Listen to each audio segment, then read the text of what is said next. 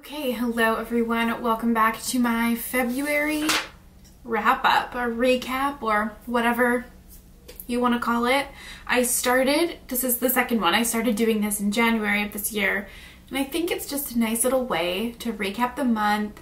So pretty much what I go through is what I bought. If you didn't know, I'm on a kind of low buy. I basically just have like a set of rules where I can only make three extra non-replacement makeup purchases throughout the month and then what I bought in terms of replacements, what I tried for the first time this month and what I've been, you know, trying. Maybe it's something that I bought in the past month that I just kind of got around to trying for the first time this month or whatever.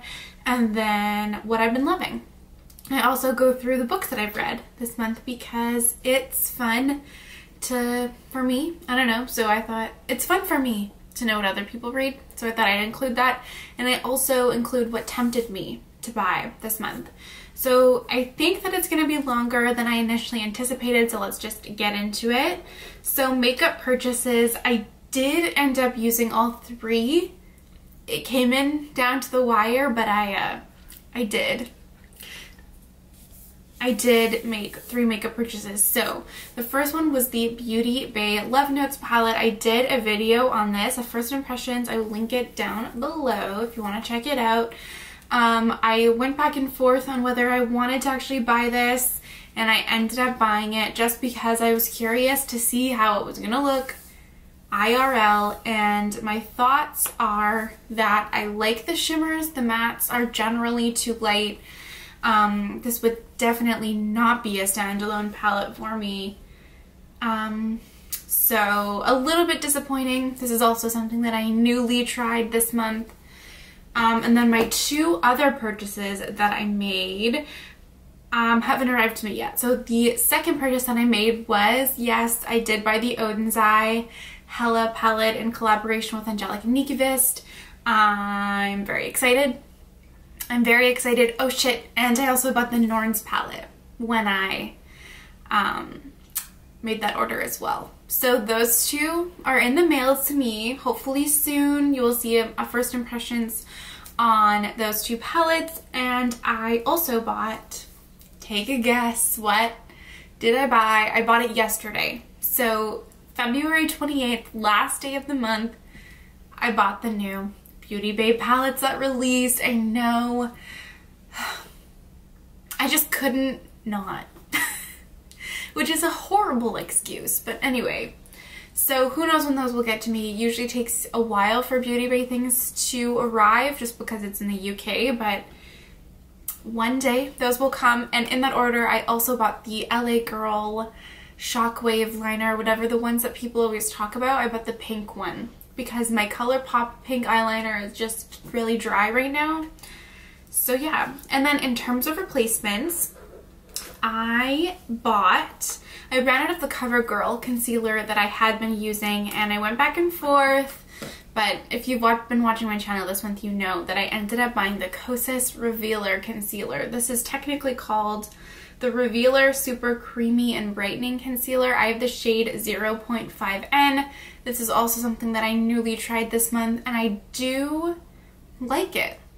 Um, it's a dewier finish. Like it, it definitely has like a, not a sheen to it, but it's a dewier finished concealer.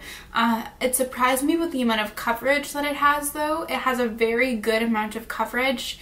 I thought it was going to be like super sheer, but no, it's actually really great in terms of coverage. And even though I have oily skin, I have been enjoying it. And I'm really happy that I ended up trying it out just because I wanted to know what all the hype was about.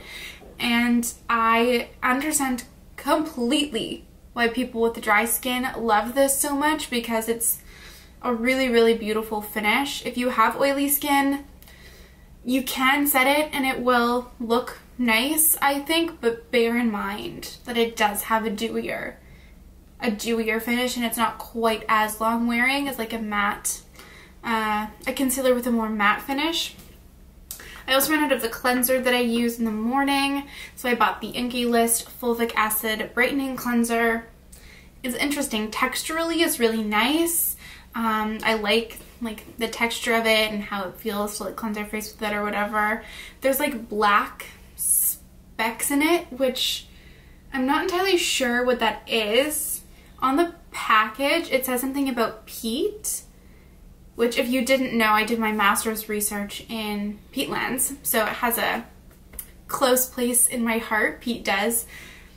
It doesn't, I don't really know what's going on with this. It does have an interesting smell that I don't particularly enjoy. This makes me realize why companies put fragrance and skincare and makeup and stuff. Um, it's not particularly like crazy amazing, but I do have been enjoying it so far and it's affordable. I also replaced the loose powder that I was using. I just replaced it with the same thing, the Maybelline Fit Me Loose Powder.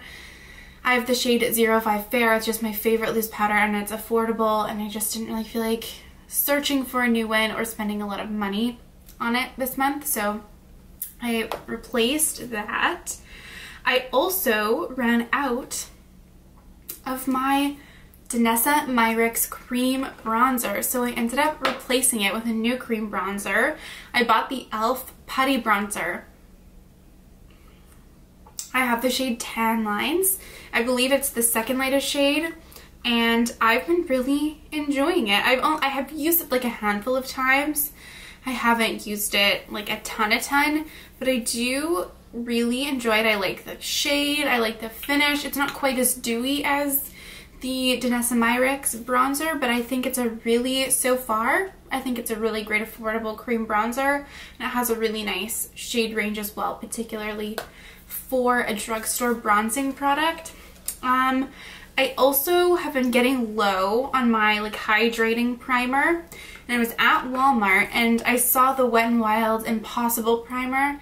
And I've heard so many things about this, so I ended up buying this for when my hydrating primer runs out. So not really more to say on this because I haven't actually tried it yet, but I'm excited to. Um, what else? Oh, I also, so fun fact about me, I am obsessed with lip balm. I love lip balm. I used to just buy it constantly and for that reason I had a whole backlog of fucking hoard of lip balm. So I went on like an unofficial lip balm no buy because I wanted to use up all of my lip balms and I finally finished them. So it was a very exciting day. I was like, I can buy a new lip balm. And I was making an order from off of Pharmaprix online and I was going through their lip balms and I saw that they sell Florence by Mills and I was like, um, the urge just overwhelmed me to buy this lip oil. So this is the Florence by Mills Glow Yeah Lip Oil and almost positive this is Millie Bobby Brown's line, right? Yeah. Um, it's okay. I don't love it, Millie. You disappointed me. I think you kind of dropped the ball on this one, my friend. Um, uh, it's, yeah, it's quite thin, so it's not sticky at all, which is a positive, I guess, for some. And it just doesn't really feel like it's doing anything for my lips. It disappears in like 30 minutes. My lips don't feel particularly hydrated after, and so I have to reapply this a lot. And I find myself wishing that I had a different lip balm to put on instead of this. So that I feel like is the true test of not being a good lip balm or lip oil. Um, so I'll use it up but wouldn't recommend this. And it was like $18 I believe so far too expensive for how much it does nothing you know I also bought this Real Techniques brush when I was at Walmart. It's technically their blush brush, but it's just a little like angled brush that's pretty dense. It's not super dense, but it's pretty dense. I've been loving it for blush. It's also good for like cream bronzer. Um, I really have enjoyed this and I'm so, so happy that I bought it. It is, it's quite, it's different from like the OG Real Techniques packaging but it's quite nice and sleek and I don't know. I enjoy it. And it was relatively affordable. I think it was like $10 or something. So I always love Real Techniques brushes. They're so affordable and work so well. Like I never have any problems with them and they last a long time. So I bought that and then I also bought an e.l.f. moisturizer because I'm almost out of the moisturizer that I'm using now, which is also from e.l.f. I bought the um, Holy Hydration face, cream with hyaluronic acid and peptide complex. Um, this is still in the box because I haven't used it yet, but I will report back when I do. And then let's move on to what I tried that I haven't already gone over. Um, most of this is just from last month.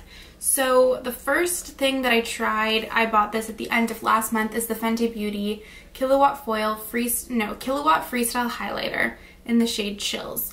I've been lusting after this for so, so long, and I was able to get it on sale for $14 last month, and I absolutely love it. I love how, like, sheer and sparkly it is, so it just has such a beautiful finish on your cheeks as a highlighter. If you don't like glittery or sparkly, maybe the more appropriate word. If you don't like sparkly highlights, you may not like this, but I love it and I love having a blue highlighter that I love to pair with like blue and green looks. Very exciting. I also, in that order, bought the Fenty Beauty Heat Gloss Bomb in the shade Fenty Glow Heat. I love this. I love this lip gloss. It's not the same shade as the original Fenty Glow though. It's more neutral. I feel like the original Fenty Glow is more like peachy. Um, this is a little bit more peachy, not quite as, it has like more brown to it almost. It's quite stingy. It's, it is a plumping gloss, but I just Love it. I love the way it makes my lips look. I love the shade of it. And I've been using it nonstop this month. A fave. This is also in the category of something that I've been loving. I also tried the Maybelline Brow Fast Sculpt Gel Mascara in the shade Soft Brown. I think I had used this like once last month, so I didn't really give a big review of it, but this little guy has shocked me in how good it is. When I use this alone, it has like the hold of soap brow. It holds like no other brow gel I've ever used. It's so good. It coat like it it and it tints your brows but it doesn't make them look like crunchy or anything like it looks like real brow hair texture but it holds so well unlike any other brow gel I've ever used and it's so affordable. I've like if you are in the market for a new brow gel and an and an affordable brow gel, highly highly recommend checking this out. Highly recommend. It's really really good. Um oh, this was something that I newly got this month, but I didn't buy it. I got this as a point perk. This is the Youth to the People Kaolin Green Tea with Spinach and Vitamin Superfood Cleanser. This is like a little sample size. Um, I wanted to try this because, I mean, everyone fucking raves about this cleanser as if no other cleanser can ever come close to being this good. And I enjoyed it, but I think it's really fucking overrated, to be honest. It's good, but does it do anything that my like CeraVe foaming cleanser doesn't do? No. So that's my thoughts on that. Um, I also randomly in the Pharmaprix order got a free sample of the Darphin Stimul Skin Plus Absolute Renewal Eye and Lip Contour Cream. It just came. Um, I looked it up and originally this is like $110 for like an eye cream, which is crazy, crazy. I've been using it as an eye cream and I mean, I feel like it makes my under eyes feel, look and feel good, but I wouldn't, I that's what I would expect from a fucking eye cream that's so much money. And Darphin as a brand is so expensive. So random, but I have it, so this is also something that I tried this month. Um, Do, do, do. Okay. Yeah. So then I also tried some palettes for the first time as well. I tried the BH Avocado Toast. This was right at the beginning of February. Love it. As with any other BH Cosmetics palette that I've tried, I've loved it and I can't wait to play with it more. Again, I've only played with it once, so can't really say too, too much about that, but I really, really enjoyed it. Um, I also tried the Pat McGrath Huetopian Dreams palette for the first time. I did a first impressions on this. I will leave every video featuring the palettes. Like I'm, I, I will leave every video that I've done like focusing on these palettes in the description box, but I this is no exception to my love for Pat McGrath. I think it is absolutely stunning. Absolutely stunning. It is so good. I just love Pat McGrath's eyeshadow formula so much. And you can hear my whole thoughts in that video. I also did a get ready with me using the ColourPop Lush Life palette. I bought this for Black Friday and I used it in the get ready with me for the first time this month. And again, really enjoyed it. The shimmers aren't my favorite formula in the world. They're nice, but the mattes in here are really, really nice. And I'm excited to try the other ColourPop palettes that I ended up buying at that same time. and yes. And then what I've been loving, so the NYX Sweet Cheeks Glow Creamy Powder Blush in the shade Daydream. I, I just, I love it. This has become one of my new favorite glowy blush formulas. I recently posted a video all about glowy blushes, which I will link in the cards and down below um, if you want to check that out. But this is just the most beautiful. It is quite glowy. So you were warned, but if you like a dewy glowy blush, it just looks absolutely glorious and glowy and dewy and wet on your cheeks. A++ and it's like $12. So, so good. And I've also been loving, still, my Beauty Bay palettes. Um, I continued to love on my Beauty Bay Book of Magic palette this month. I can't get enough. Um, I only used it once, I believe. I used the shade Potion down here. I just did like a blue look. So really, really been loving that. And then I ended up deciding to just set it down for a second and move on to something else. If you are interested or curious, I do have a highlight on my Instagram at Laura Clark Makeup on Instagram. Um, taking pictures of like my makeup of the day if I don't post it on Instagram or YouTube. So if you want to know like what I wear in like the day to day, check those out and those looks are what I'm including here. And then I also have been really loving my Sunset Horizons palette this month. I have raved about this palette a lot on my channel last summer. This was like the palette of the summer for me. I really loved it and I love how bright it is and I really love the like half warm, half cool toned aspect of this but I did a lot of different looks this month actually so far. I did a really bright, like a corally look. I did an orange look and a yellow look using this Mirage shade using this Mirage shade all over the lid. I did a smokier look featuring this coconut shade down here in a Terra Moon single. I did a like bright orange look using this, so I've been loving this a lot. And I've also been loving this lip combo that I'm wearing. This is a combination of the Makeup Forever Artist Color Pencil and Endless Cacao because it's the fucking best. Paired it with the ColourPop Ultra Glossy Lip in Fairy Floss because I'm just trying to like get this out of my collection. I don't love the